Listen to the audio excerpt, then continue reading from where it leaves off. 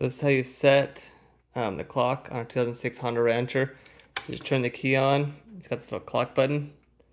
You can just hold it down so it says three. And all you have to do is push H for hour, M for minute.